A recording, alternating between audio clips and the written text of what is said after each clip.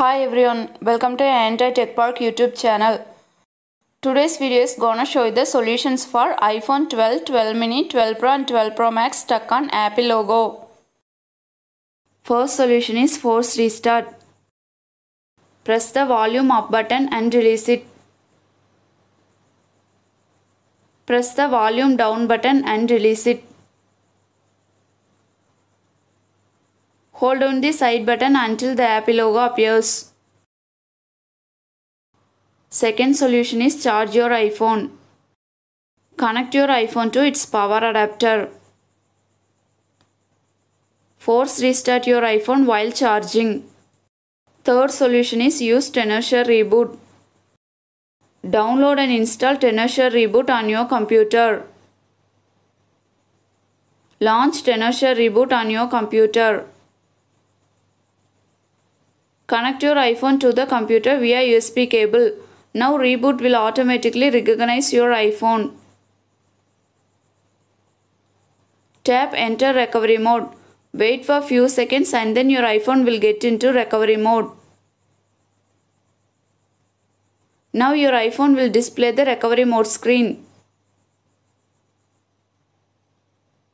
Wait for 2 minutes and then click exit recovery mode. Fourth solution is update your iPhone in DFU mode. First connect your computer to Wi-Fi or Ethernet. Connect your iPhone to the computer via USB cable.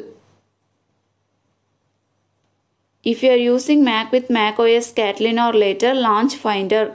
If you are using Windows computer or Mac with macOS Mojave or earlier, launch iTunes.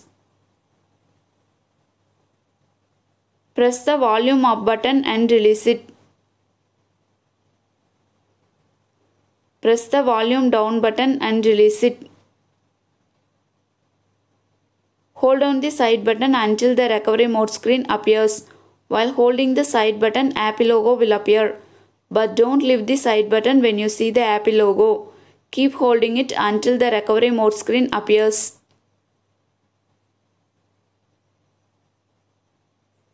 Tap on your iPhone when it appears on the screen. Select Update in the pop-up box. Now the computer will update your iPhone without deleting any data. Wait until the updating process is finished. This process will take more than 20 minutes.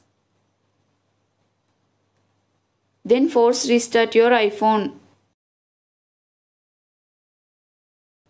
If updating your iPhone doesn't work out, select restore instead of update. But restore will erase all data from your iPhone. Fifth solution is let your iPhone die. Don't do anything with your iPhone until it dies, even it takes 1 or 2 days. Then connect your iPhone to your power source and let it charge for 30 minutes. Now turn on your iPhone. After trying these solutions, let me know which one is worked for you. If you know any other solutions to fix this issue, let me know through your comments.